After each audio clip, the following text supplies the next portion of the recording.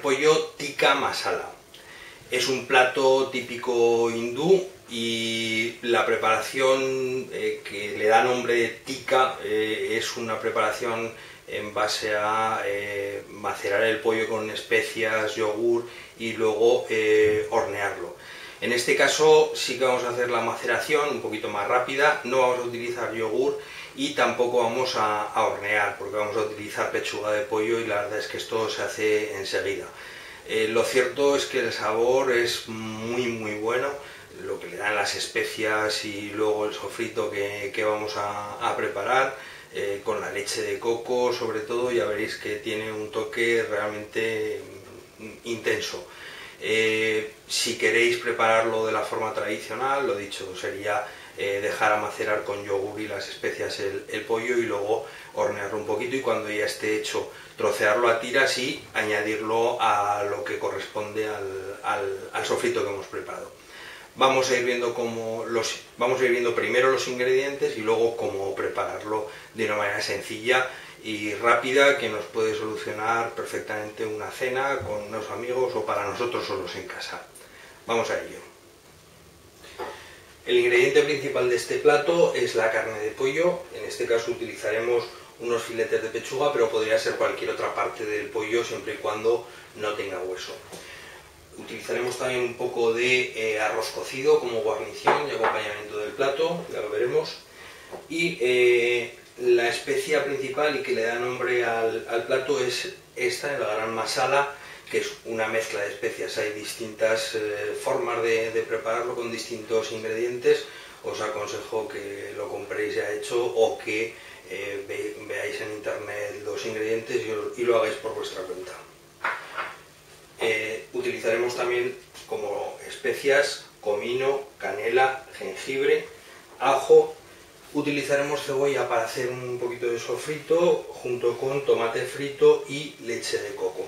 Sal para sazonar todo esto, con el aceite para hacerle el, sofrito y utilizaremos también, si tenemos hecho un poco de, caldo de carne o de pescado, lo utilizaremos y si no, pues con una pastilla de caldo instantáneo podemos eh, hacerlo con un poquito de agua y un poco de ajo también para hacer el sofrito. Vamos a ver cómo hacer todo esto. Lo primero que vamos a hacer es trocear el pollo para ponerlo a marinar. Como en este caso ya son filetes de pechuga, simplemente los vamos a hacer en tiras, pero si fuera algún otro tipo de, carne, pues tendríamos que hacer algún corte adicional. Y esto lo vamos a poner en un bol a marinar mientras se prepara todo lo demás. Bueno, dicho marinar, pero realmente es macerar. Vamos a ponerle un poco de sal, un poquito de aceite, muy poquito, jengibre, sin miedo, y el garam masala, sin miedo también.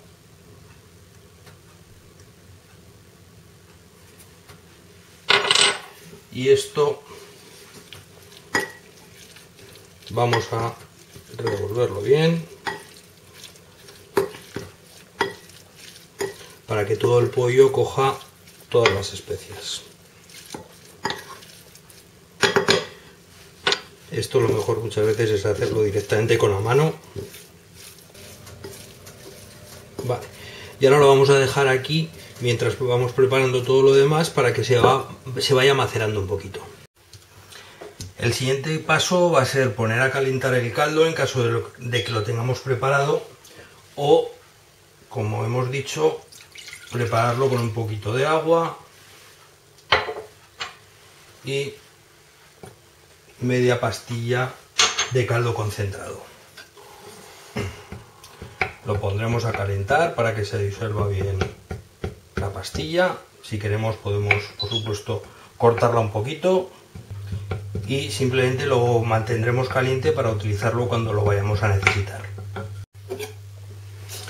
Después vamos a picar el, ajo y la cebolla e iremos empezando con el sofrito.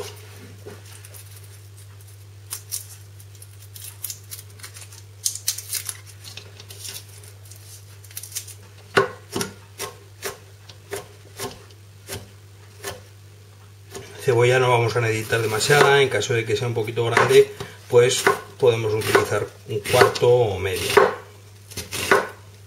Eso sí, picadita, bien picadita. Una vez que tenemos la cebolla picada, vamos a poner a calentar aceite para hacer el sofrito. Cuando tengamos el, aceite ya templado, vamos a ponerle la canela para aromatizar el aceite.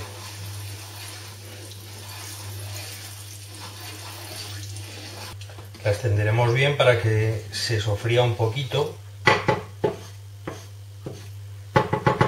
y nos dé todo ese sabor al, al propio aceite. Y a continuación pondremos el ajo picado. Hasta que se empiece a dorar. Y cuando se empiece a dorar pondremos la cebolla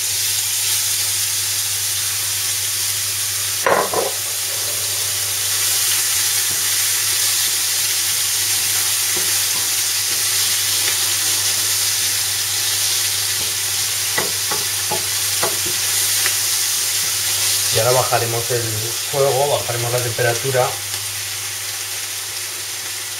para que la cebolla se vaya pochando. Sazonaremos con un poquito de sal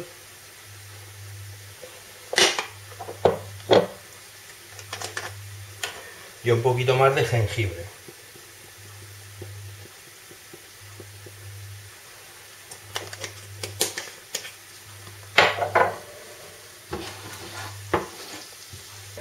Cuando la cebolla ya empieza a transparentarse, vamos a añadir el tomate frito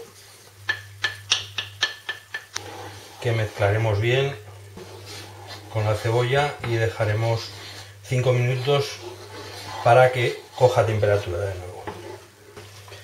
Cuando ya nos ha cogido temperatura vamos a añadirle el pollo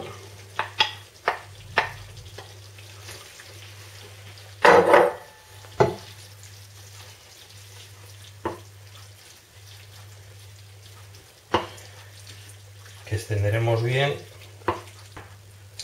Fijaros que el pollo ya prácticamente se está haciendo porque eh, al ser tiras de, pechuga esto se hace enseguida con muy poquita temperatura. Si hubieran sido otras piezas del pollo, eh, quizás sí que hubiera sido más interesante seguir la receta completa del pollo tica eh, asándolo previamente. Pero para esto ya veis que es más que suficiente y lo realmente importante que es el sabor de todo el acompañamiento nos lo da exactamente igual. ¿eh? Lo dejamos aquí dos minutos que vuelva a coger temperatura antes de seguir añadiendo ingredientes. Ahora vamos a añadir más jengibre y el comino.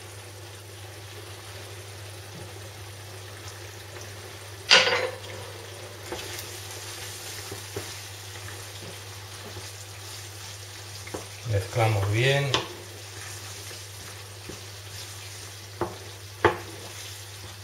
Y le damos un minuto para que se incorporen los sabores. Y ahora vamos a añadir la leche de coco.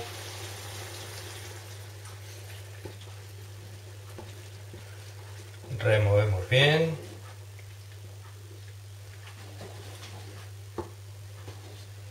Que se mezcle bien la salsa de tomate con la leche de coco.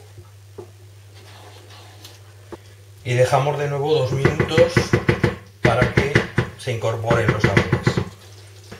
Y por último vamos a añadirle un poquito de caldo de pollo o de carne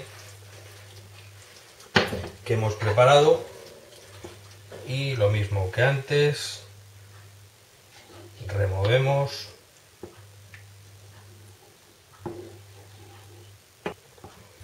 lo dejamos dos minutos que se incorporen. Ahora que ya tenemos todos los ingredientes, vamos a probar para ver si está bien de sazón y en caso de que necesitemos, pues ponerle sobre todo un poquito más de, de sal.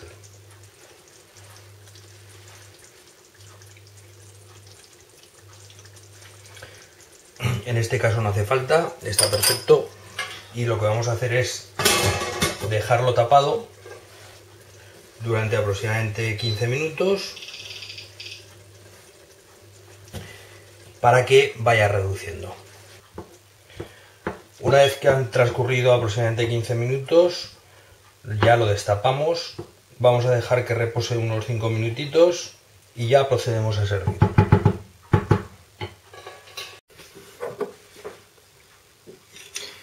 Para emplatar, primero vamos a poner el arroz.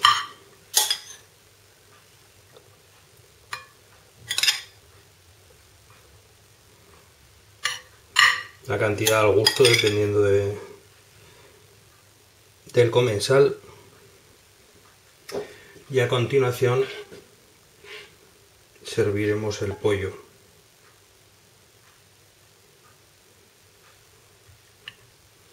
Vamos a procurar escurrirlo un poquito de salsa.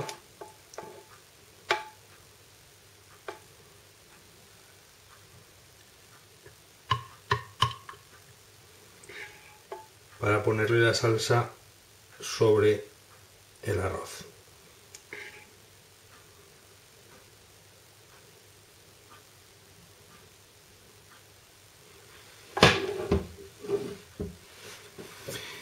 Y con esto listo, que aproveche.